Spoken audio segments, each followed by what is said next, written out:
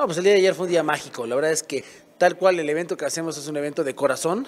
La gente suma su esfuerzo. Se llamó Relevos de Esperanza 3, porque es la tercera vez que lo hacemos. Y yo me propuse nadar 12 horas continuas en la alberca de Nelson Vargas. Y a cuenta de eso la gente tenía que nadar en relevos. Eh, unos una hora, unos 15 minutos, unos una vuelta, unos dos horas. Desde niños pequeños, hubo niños de cuatro años, hasta gente ya mayor y entre todos eh, se juntó un poco más de 30 mil pesos para el Banco de Medicinas de Una Nueva Esperanza, lo cual es increíble. Ya completamos el Canal de la Mancha, Canal de Catalina y ahora vamos por este.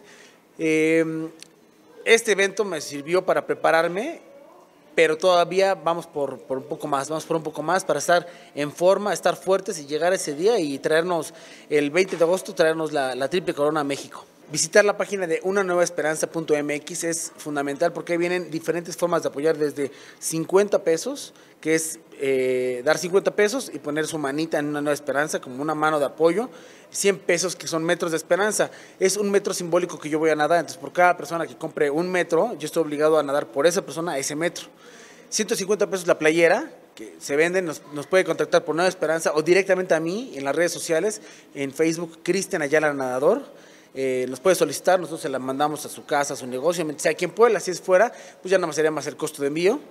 Y, si quiere aportar desde 20 pesos directamente en la página de Una Nueva Esperanza, está el sitio de PayPal, se puede donar vía OXO. La idea es que la gente no deje de ayudar.